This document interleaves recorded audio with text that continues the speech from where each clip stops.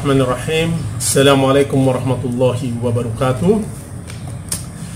Alhamdulillahirrabbilalamin Allahumma salli ala Sayyidina Muhammad wa ali Sayyidina Muhammad. Buku kita kali ini adalah buku dwi bahasa Tentang Ali bin Abi Thalib. Buku ini terdiri dari bahasa Arab dan bahasa Indonesia. Dalam bahasa Arab Judul buku ini adalah Ima al-Imam Ali al-Mukhtar min bayanihi wa hikamihi. Nah, diterjemahkan oleh penterjemah dalam bahasa Indonesia dengan mengutip perkataan Imam Ali, "Tanyalah aku sebelum kau kehilangan aku." Memang pernah pernah pada suatu masa pada zaman Ali bin Abi Thalib ketika orang mulai mencari sumber-sumber agama dari orang-orang yang tidak kompeten sementara Imam Ali hadir di tengah-tengah mereka. Dan Imam Ali berkata kepada mereka saluni qabla antafkiduni tanyalah aku sebelum kalian kehilangan aku. Karena kita ketahui Imam Ali menurut Rasulullah Sallallahu Alaihi Wasallam adalah kota, pintu ilmu dari kota Rasulullah Sallallahu Alaihi Wasallam. Nabi bersabda, "Ana Madinal tula ilm wa aliyun babuha, faman arodal Madinah falyatiha min babiha." Aku adalah kota ilmu dan Ali adalah pintunya dan barang siapa ingin masuk ke dalam kota maka masuklah melalui pintunya. Jadi Ali bin Abi Thalib sallallahu alaihi adalah pintu ilmu Rasulullah sallallahu alaihi wa alihi wasallam. Nah pada kesempatan ini kita akan bahas bab tentang tolabul ilm. Tentang mencari ilmu bagaimana pandangan Ali bin Abi Thalib tentang ilmu. Saya bacakan uh, Al-ilmu fadlul kunuz wa ajaluha khafiful mahmal azimul jadwa fil mala'i jamal wa fil wahdatil uns. Jadi kata Imam Ali ilmu adalah perbendaharaan. Ya. sebaik-baiknya ilmu uh, ilmu adalah sebaik-baiknya perbendaharaan. Dan yang paling indahnya ya, jadi perbendaharaan yang paling indah. Ia ringan dibawa namun besar manfaatnya. Di tengah-tengah orang banyak ia indah. Sedangkan dalam kesendirian ia menghibur. Jadi kata Imam Ali, ilmu adalah perbendaharaan yang indah di tengah-tengah orang banyak. Ia kesendirian di tengah orang banyak ia indah. Di kesendirian ia menghibur. Lalu Imam Ali mengatakan lagi, Ta'allamul ilm fa innahu zainun lil وأون للفقير ولست أقول إنه يطلب به ولكن يدعو إلى القناعة jadi kata Imam Ali pelajarilah ilmu karena sesungguhnya ia hiasan bagi orang-orang kaya dan penolong bagi orang fakir Aku tidaklah mengatakan sesungguhnya ia mencari dengan ilmu Tetapi ilmu menyeru kepada kona'ah. Jadi dalam pandangan Imam Ali Setelah dia memerintahkan kita untuk mencari ilmu Ilmu adalah hiasan bagi orang-orang agnia Dan penolong bagi orang-orang fakir. Jadi bagi orang-orang kaya ilmu adalah hiasan Bagi orang-orang miskin ilmu adalah penolong.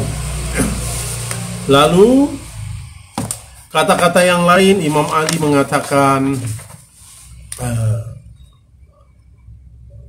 al-ilmu al-ilmu sultan man wajadahu salabih wa ma lam yajidu sila alaih. Jadi kata Imam Ali, ilmu adalah kekuatan. Barang siapa yang mendapatkannya, dia akan menyerang dengannya. Dan barang siapa yang tidak mendapatkannya, dialah yang akan diserang olehnya. Jadi ilmu adalah sultan, kekuatan. Barang siapa orang yang mendapatkan ilmu, maka ilmu itu akan menjadi senjata dalam hidupnya. Dan barang siapa yang tidak mendapatkannya, wah, dunia akan menyerangnya. Ya. Dia akan diserang olehnya.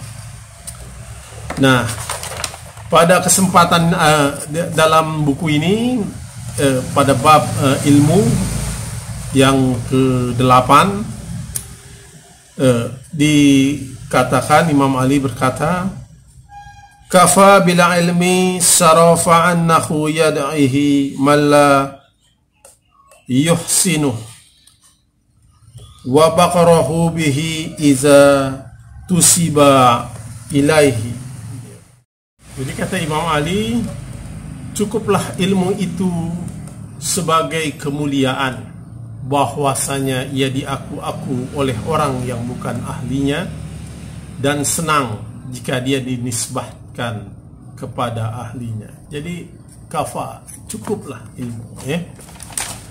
Karena ilmu itu sebagai kemuliaan dan ilmu itu sering diklaim oleh orang yang bukan ahlinya dan ilmu itu senang jika ia dinisbatkan kepada ahlinya. Lalu pada kata yang lain Imam Ali mengatakan al-unsu bil ilm min nublil himmah. Ilmu adalah kemuliaan cita-cita. Jadi cita-cita yang mulia yang paling mulia adalah kecintaan kita kepada ilmu. Lalu dalam bab ini juga Imam Ali menjelaskan dengan ilmu wa amal ilmu dan pengamalannya. Imam Ali mengatakan ilmu berhubungan dengan amal. Barang siapa yang berilmu niscaya mengamalkannya, ilmunya. Ilmu memanggil amal. Maka jika ia menyambut panggilannya, bila tidak menyambutnya, ia akan berpindah darinya. Jadi dalam pandangan Imam Ali, ilmu dan amal tidak bisa dipisahkan dan ilmu itu ada menuntun amal. Lalu Imam Ali memerintahkan kita untuk mempelajari ilmu. Ta'allamul ilma ta'rifu bih wa'lamu bihi takunu min ahli. Pelajarilah ilmu. Niscaya kalian akan dikenal dengannya. Dan amalkanlah ilmu yang kalian pelajari. Bila uh, ini niscaya kalian akan termasuk ahlinya. Kita diperintahkan untuk mempelajari ilmu. Dan kita berharap semoga kita dikenal dengan ilmu itu.